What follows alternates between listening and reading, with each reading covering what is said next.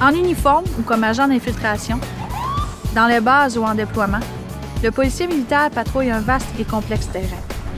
Ils sont plus de 1200 affectés à la protection des immeubles et installations, à la résolution de conflits, aux enquêtes sur les lieux de crime, aux arrestations de suspects et au bon traitement des prisonniers de guerre. Ce travail exige courage, compassion et un engagement indéfectible au service de gens qui traversent des circonstances souvent très pénibles.